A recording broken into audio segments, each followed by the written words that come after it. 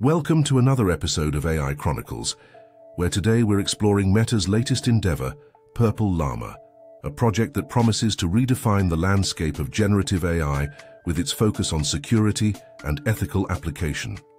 Imagine a world where AI is not only powerful, but also safe and responsible. Purple Llama is not just a tool. It's a movement towards creating AI that respects human rights and ethical guidelines. In this episode, we delve into the intricate features of Purple Llama, from Llama Guard to CyberSec Eval, and how they revolutionize AI development. Whether you're a developer, a tech enthusiast, or simply curious about the ethical implications of AI, this episode is a must-watch. Hit the subscribe button and join us on this insightful journey into Meta's innovative approach to AI security and ethics. Let's discover how Purple Llama is shaping a safer AI future. So Meta has launched a new project called Purple Llama, and this time Meta is tackling the security concerns related to generative AI.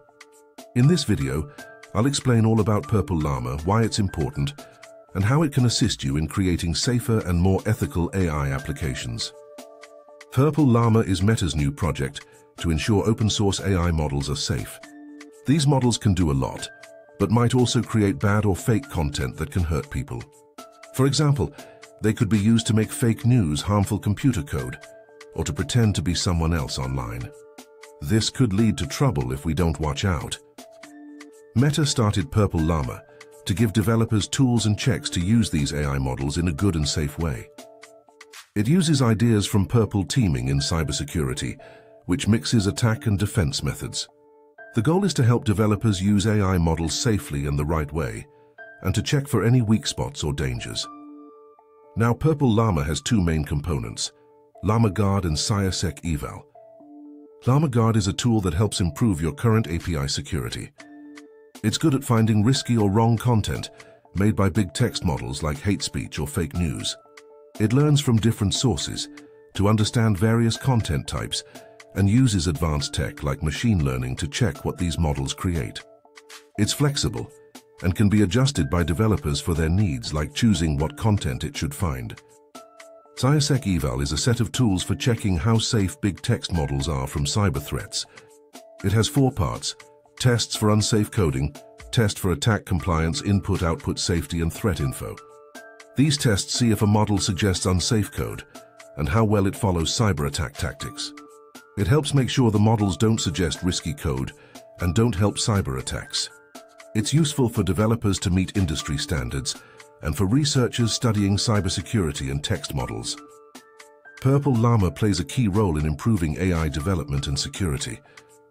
It helps developers create AI that is safe, ethical and respects human rights. By using tools like CyberEval, developers can test their AI, particularly large language models, for any security risks such as generating unsafe code or violating privacy policies.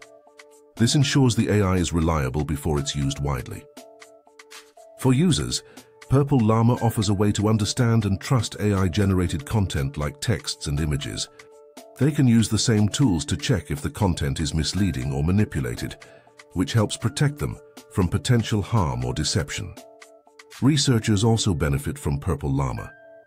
It provides them with new tools and data for studying AI security.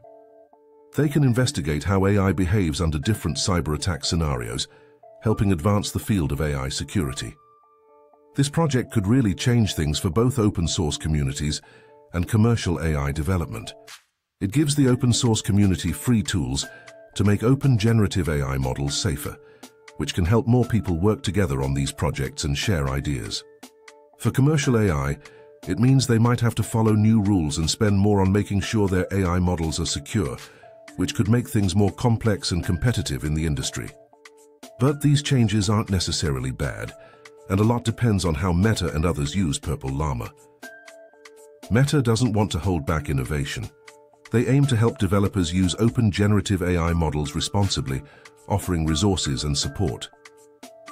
They're open to ideas from experts in cybersecurity for large language models, hoping to build trust and teamwork in the AI world. By making AI security risks clearer and easier to handle, Purple Llama offers some sophisticated features that really differentiate it from other AI security tools in the market. So first there is Llama Guard. This is a high-powered part of Purple Llama. It blends natural language understanding, generation, computer vision, and machine learning to examine what's produced by big language models. Llama Guard is skilled at recognizing a range of potentially harmful or inappropriate content. For example, it can detect hate speech, identifying when language models produce content that shows hatred or discrimination based on race, religion, gender, and more. It's not just about finding these issues. LlamaGuard can also create more respectful, inclusive alternatives. When it comes to fake news, LlamaGuard has a knack for spotting if a language model is churning out false or misleading information. It compares this content with reliable sources to find inconsistencies and can generate more accurate, trustworthy corrections or summaries. Phishing attempts are another area LlamaGuard covers. It can pinpoint when a language model produces content aiming to deceive people into giving away personal or financial info. By analyzing the content for signs of trickery, LlamaGuard offers helpful warnings and advice for security. Offensive jokes are also on LlamaGuard's radar, it can tell if a joke generated by a language model might be racist, sexist, homophobic, or simply in bad taste. By understanding the tone and sentiment, LlamaGuard suggests more appropriate, friendly content. LlamaGuard isn't limited to these areas. It can also identify other risky or violating content types, like intellectual property infringement or illegal activities. Plus, it's versatile enough to be integrated into various AI applications like chatbots or content creation tools. Then there is CyberSec Eval. This is another part of Purple Llama's toolkit. It uses a combination of tests and intelligence feeds to assess cybersecurity risks in large language models. CyberSec Eval is all about measuring and reducing the risk of cyber attacks, like phishing, malware, ransomware, and denial of service attacks. It does this through a series of safeguards that filter out, block or warn users about potentially harmful content. These safeguards can even prevent or reverse the effects of dangerous codes like ransomware. CyberSec Eval, like LlamaGuard, can be customized for different AI applications. It's useful in various settings, from code editors to software development platforms, helping to secure them against a wide range of cyber threats. For the future, Meta has plans to enhance Purple Llama by adding features for different kinds of content created by big language models like audio, videos, or 3D models.